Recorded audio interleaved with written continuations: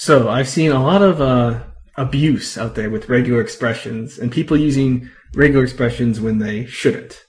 And oh, for those of you who don't know what regular expressions are, um, basically in the world of mathematics, or in this case, uh, computer science, or just computers, whatever what term you want to use, uh, regular expressions are the way that you actually filter and uh, most of the time filter and parse out either strings of text, data, things the sort, any anything that can be represented with text. Um, you can use regular expressions to either filter, um, replace things, um, and a lot of just a lot of useful uh, uses for it. And actually, I'm going to show you. I'm going to show you just an easy example of a regular expression before I continue with this whole uh, spiel. But um, if you've ever used the sed command, you'd be you're probably familiar with regular expressions because sed uses regular expressions. Um, a, a, typical sed command um, looks kind of like this. So basically, what it does, it's gonna it's gonna replace. Um, actually, wait, here we go. Um, I'm gonna go ahead and print. Uh,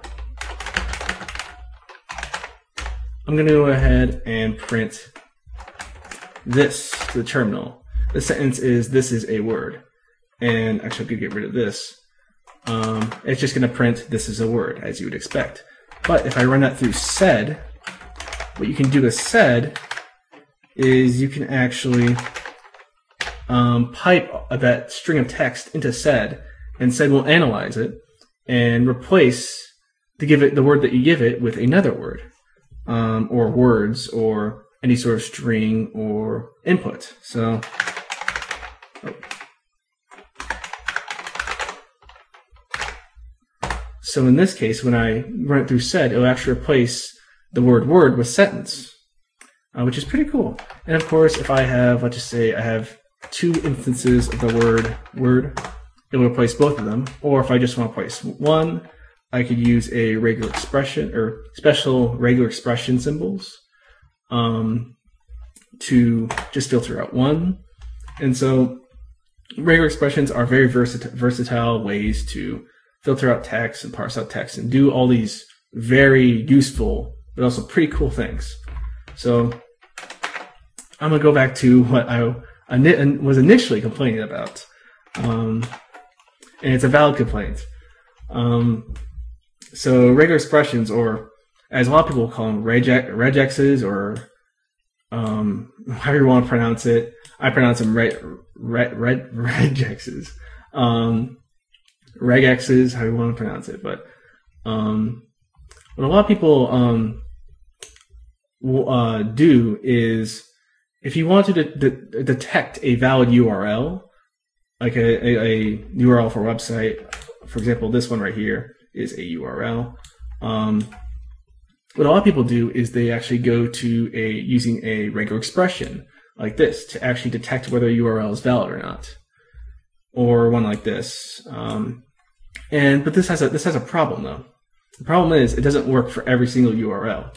In fact, if I scroll down here, you'll see that this person actually gives a longer URL or regular expression to detect URLs.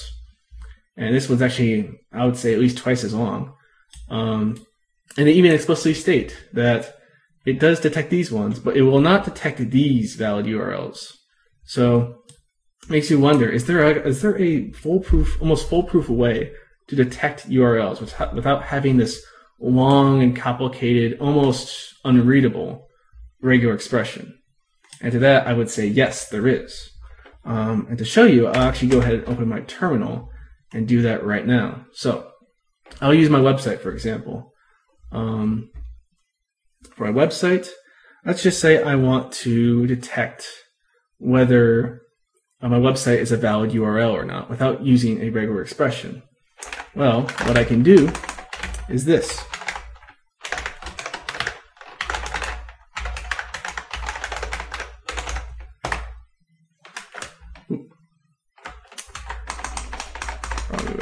There we go.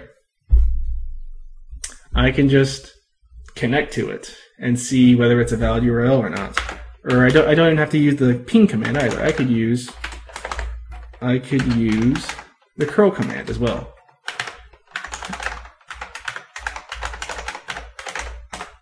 And as you can see, I get a web page in response. And so that may, that may not be what uh, um, most of you are thinking, but I think it's probably the best way to actually validate a URL is to actually just connect to it and see if you get response or anything, and from there determine whether it's valid or not. In this case, my website is a valid URL.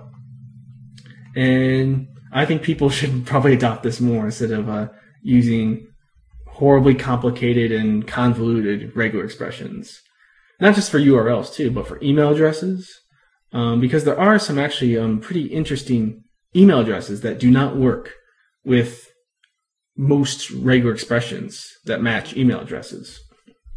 Um, and to that, I would probably just say send the person, send the address an email to verify it. That's what most companies, most, um, basically what everyone does nowadays, which is, which I think is common sense. But also things like, um, I would say email addresses, URLs, um, phone numbers, I would say actually would qualify as a good use for a regular expression uh, most of the time. Sometimes not. But another th- another thing that I think you shouldn't use a regular expression for are credit card numbers to validate credit card numbers. Um, uh, because you can either just because you can actually use a algorithm. I, think it's called the Luhn algorithm. Um, I think. Oh, I'm pretty sure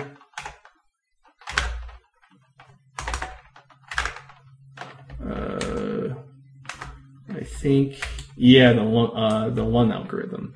And this algorithm basically lets you validate whether a credit card number or uh, numbers for a few other things like um, uh, certain ID numbers for certain countries are valid or not.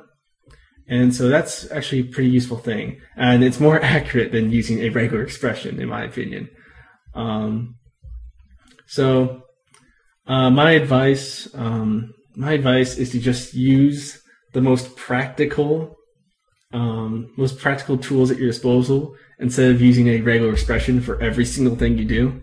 Because I see it way too often. People just using regular expressions for things they shouldn't use it for. Um, and so I think that's, uh, that's the end of the video. Don't do stupid things. See you later.